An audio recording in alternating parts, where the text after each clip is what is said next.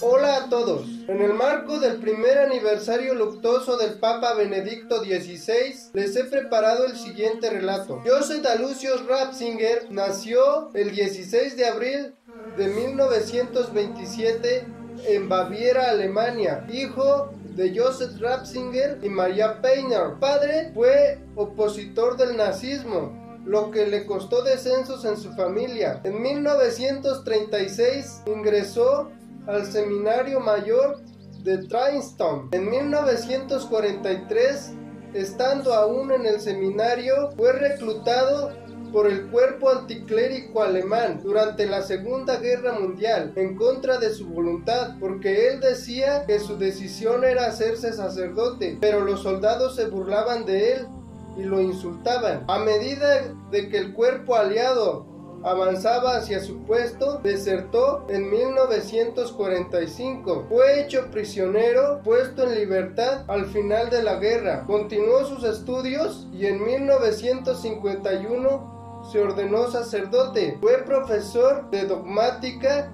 y teología. Apoyó el Concilio Vaticano II en la década de los 60. En 1977 fue nombrado arzobispo de Múnich y creado cardenal de la mano de Pablo VI. Fue uno de los más cercanos a Carol Joseph Wojtyla, Juan Pablo II, a quien apoyó hasta el fin de su papado. En 1981 fue nombrado prefecto para la consagración de la doctrina y la fe. En 1996 presidió la comisión encargada de elaborar el catecismo de la Iglesia Católica. En el 2005 tras la muerte de Juan Pablo II, el cardenal Ratzinger reunió la mayoría de votos para convertirse en papa. Gobernó la iglesia con el nombre de Benedicto XVI. Salió al balcón pronunciando las siguientes palabras. Después del gran Juan Pablo II,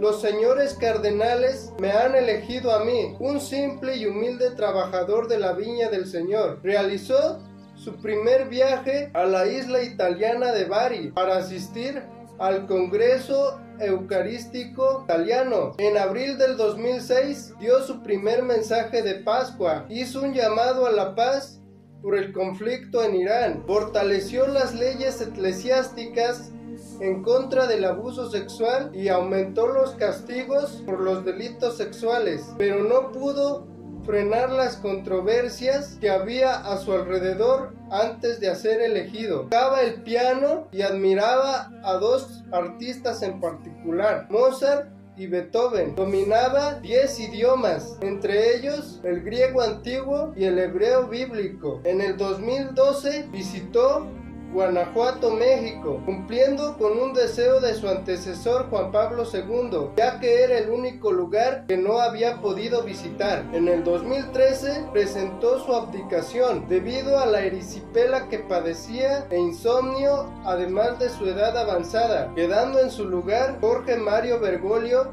conocido como el Papa Francisco. Falleció el 31 de diciembre de 2022 en el monasterio Mater Ecclesiae de la Ciudad del Vaticano. Fue sepultado en las criptas vaticanas. Bueno, pues me dio mucho gusto estar con ustedes este año. Sin duda fue un año de grandes retos y espero que al igual que yo ustedes también hayan aprendido bastante sobre la historia y les deseo un muy feliz año nuevo. También quiero aprovechar para felicitar a mi sobrina Laurita que está cumpliendo años el día de hoy.